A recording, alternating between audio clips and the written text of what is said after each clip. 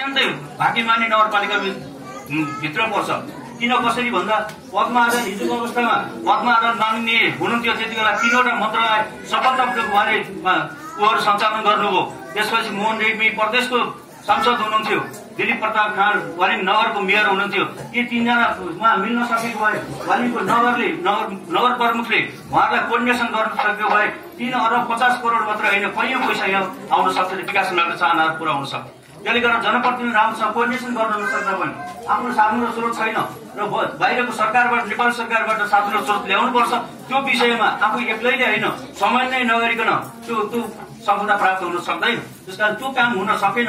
त्यो काम हुन नसकेको कारणले गर्दाखेरि वास्तवमा वालिङ नगर धेरै पछि पर्यो पाँच वर्षको अवधिमा वालिङ नगरपालिकाले जति विकास गर्नुपर्ने हो त्यो खालको विकास गर्न सकेन।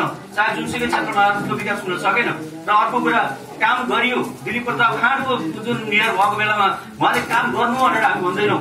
उहाँले काम गर्नुभएको छ भ्रष्टाचार गर्नु भन्ने कुरा हामीले उहाँलाई कतै पनि भ्रष्टाचारको गन्ध हामीले पाएको थाहा पाएको छैनौँ। उहाँले भ्रष्टाचार गर्नु होइन अनि तर खर्च गर्नुभयो कहाँ गर्नुभयो पहिलो नम्बरमा गर्नुपर्ने काम चौथो नम्बरमा गर्नुभयो कि?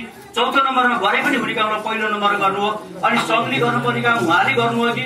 अनि उहाँले गर्नुपर्ने काम सङ्घको सङ्घको जिम्मा छोडिदिनु हो।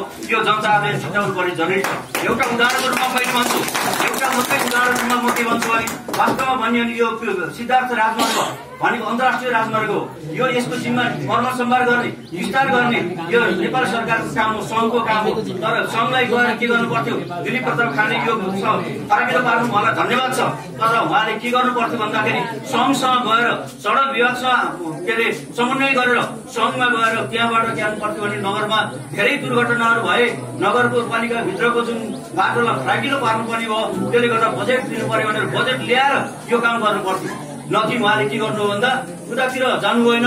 यता जनताको जुन पैसा विकास उनीहरूको काम हो त्यो सात साढे सात करोड त्यो उसमा खर्च भइरहेको स्थिति छ।